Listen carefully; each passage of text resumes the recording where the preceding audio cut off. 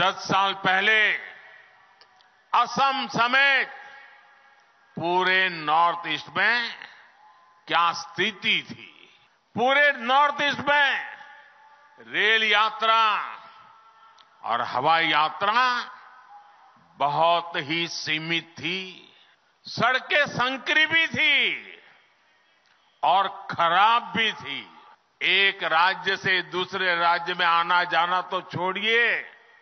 एक ज़िले से दूसरे ज़िले में आने जाने में भी कई कई घंटे लग जाते थे। इन सारी परिस्थितियों को आज भाजपा की डबल इंजन सरकार ने, एनडीए सरकार ने बदला है। साथियों, पिछले दस वर्षों में हमारी सरकार ने यहाँ विकास पर होने वाले खर्च को चार गुना बढ़ाया है। 2014 के बाद रेलवे ट्रैक की लंबाई 1900 किलोमीटर से ज़्यादा बढ़ाई गई। 2014 से पहले की तुलना में रेल बजट करीब करीब 400 प्रतिशत बढ़ाया गया है। और तब तो प्रधानमंत्री आपके आसाम से चुन के जाते थे।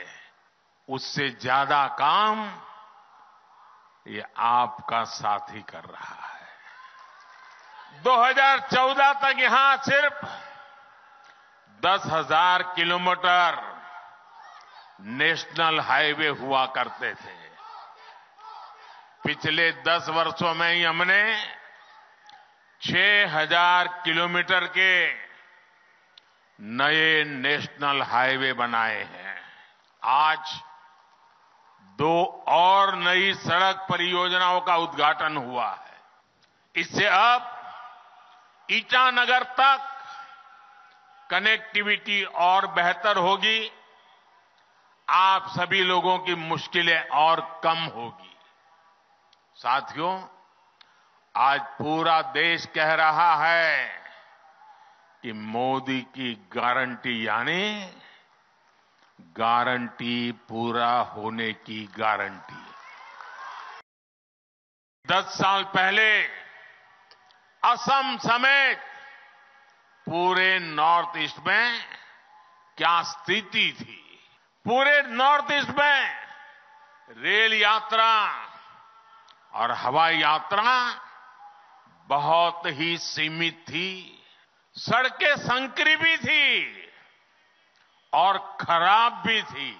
एक राज्य से दूसरे राज्य में आना जाना तो छोड़िए, एक ज़िले से दूसरे ज़िले में आने जाने में भी कई कई घंटे लग जाते थे। इन सारी परिस्थितियों को आज भाजपा की डबल इंजन सरकार ने एनडीए सरकार ने बदला है।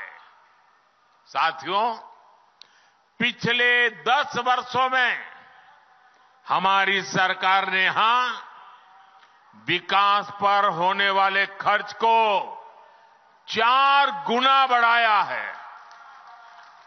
2014 के बाद रेलवे ट्रैक की लंबाई 1900 किलोमीटर से ज़्यादा बढ़ाई गई। 2014 से पहले की तुलना में रेल बजट करीब करीब 400 प्रतिशत बढ़ाया गया है।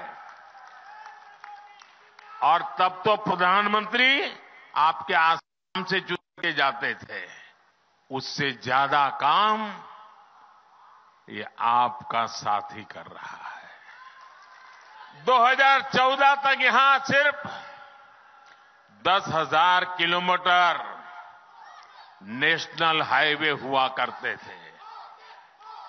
पिछले दस वर्षों में ही हमने छह हज़ार किलोमीटर के नए नेशनल हाईवे बनाए हैं।